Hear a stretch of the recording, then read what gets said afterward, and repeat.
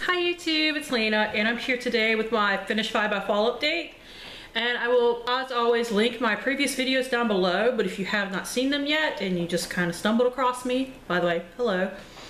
But uh, I am actually doing 10 items, 5 makeup and 5 beauty, so let's get started. I guess I'll start with the beauty because that was the only thing that I had finished last month was one of them.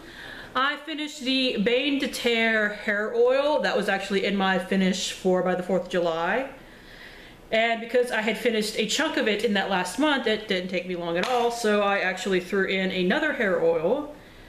This is the Uberless Straight Effect Ritu Oil with Orchid and Argan Oil Complex.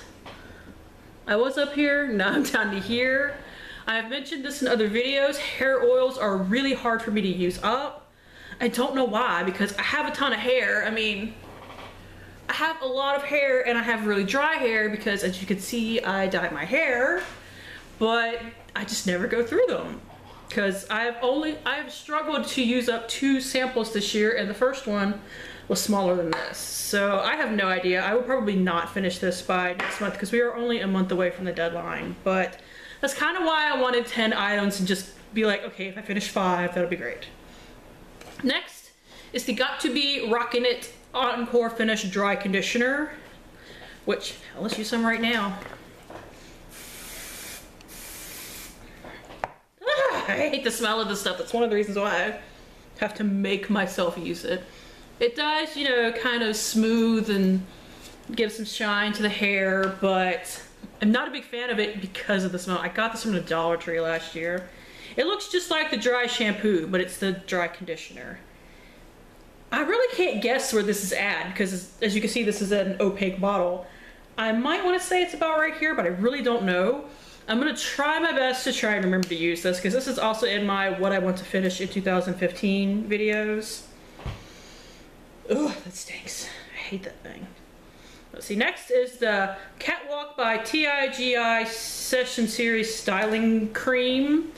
I've been making good progress on it because this is where I'm at now. That's where I was last month and that's where I started.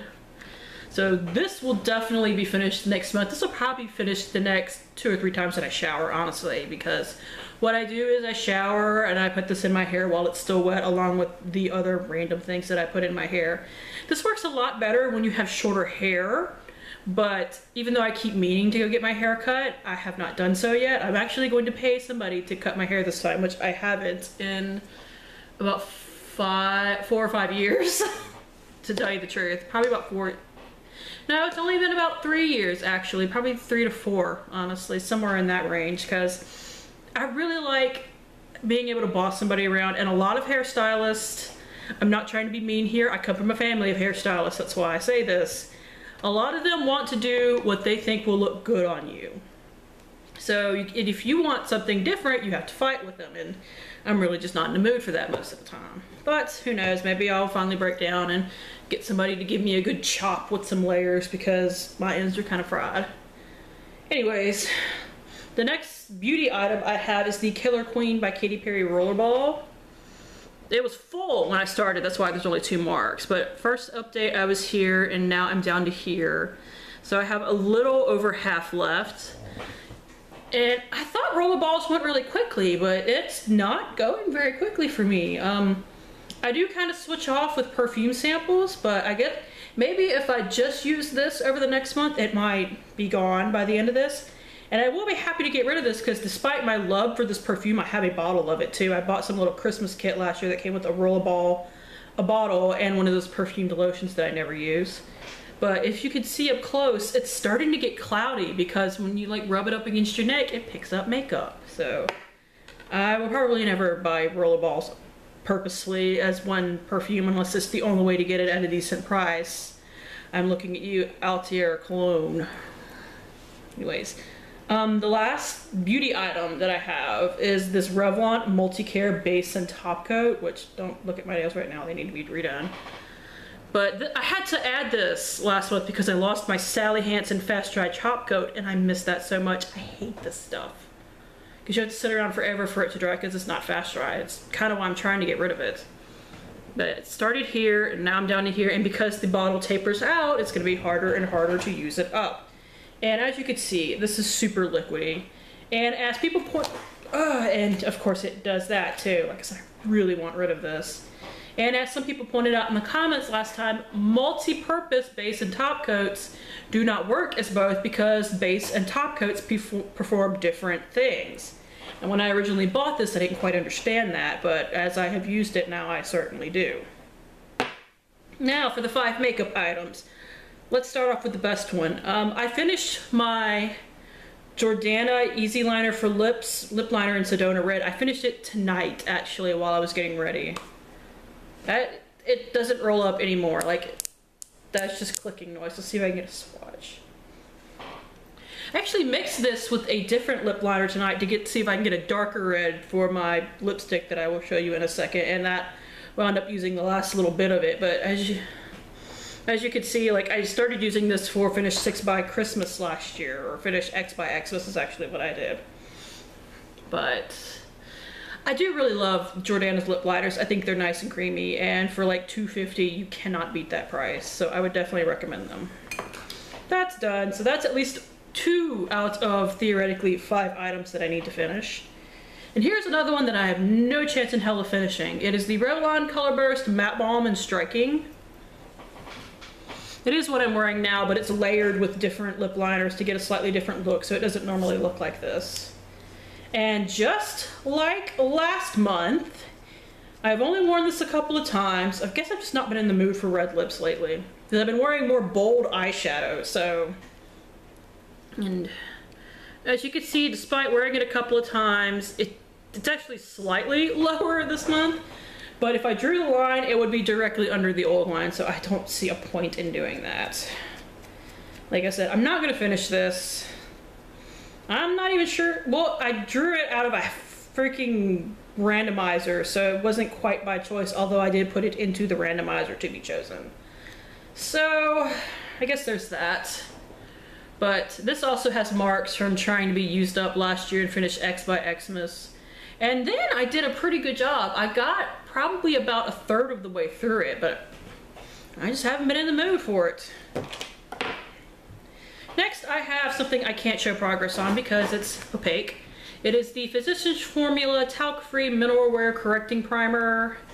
With, technically, it has like SPF 15 in it, although I don't think the SPF is any good anymore. And here's the brush. It has gotten kind of nasty and destroyed because it does go over foundation, or it goes under foundation. But it picks up anything that it remotely touches, but think there's a ton left in this because it doesn't honestly look like it holds a ton of product. It only holds 15 milliliters or half a half an ounce apparently, which is not a lot at all. Most regular drugstore foundations hold a full ounce for comparison. Like this is also in here and it holds a full ounce. I have not been using it a ton this month, or it might already be done, honestly. And that is because I was trying to use up my Benefit POREfessional for my Project Pan, which I also used up today, spoiler alert. So I, I'm almost positive that I can finish this next month because this will be the only thing that I will be using because that other primer is done. Let's see since I should kind of wave this around in the air, here is the Neutrogena Nourishing Longwear Foundation in Classic Ivory. I don't like this. This thing smells funny. It does not make me break out. It does not do anything like that, so I don't think it goes bad. I think it just stinks, like as far as smell is concerned. And on top of it, it is really yellow. Now, I have kind of warmer tones in my skin despite some redness but like how I was taught to check this, so I have no, if this is wrong, feel free to correct me, but I was taught to look at your wrist and look at the veins in your wrist, and if they are blue, you are cool toned. If they are green, you are warm toned because you have more yellow pigment in your skin. Well, mine are green. Like they're, they're freaking turquoise to me, so I'm erring on the side of green because I've seen blue veins and they're like blue blue. So I think that I'm supposed to go with the green, but this is yellow for me. Like this is super yellow and I have to fool with it and powder it up to make it look right and I really dislike it. And I want to use it up because my sister gave it to me because it wasn't working for her. Maybe that should have been a lesson, but anyways. I started up here, and the first month I did not use a lot of it. I think I was trying to use up something else as well. That might have been while I was still using the Rimmel Stay Matte a little bit. But this past month, as you can see, I made a big jump. I was actually surprised because honestly, I thought that it was about to here. But when I measured it, because what I've had to do because this stuff doesn't drain down to move it, I actually had to stick the handle of a makeup brush in there, stick it all the way down, and then measure it beside it. And I did this like three times to be sure, and each time that's where it measured, so I'm gonna go with it. Which hopefully means that it'll be done soon, because I do have to like beat it against my hand to get product out, because another dink against it, it is open bottle top. I mean, if you look in, you can see, maybe you can't, but I can when I look at it, I can see all the way down. So I guess I am almost done. And I will probably do a dance that day. And finally, I have my Makeup Forever, uh, what, is, what are these called? Makeup Forever eyeliner. I think they're called Aqua Eyes eyeliners in 12L. It's this bright green color. There it is right there. And I did wear it today with the red lips because I just wanted to use it some because for some reason I've just been focusing on other eyeliners and I haven't really been using this. So that is the measurement. As you can see where I started last month and this month and I even date them.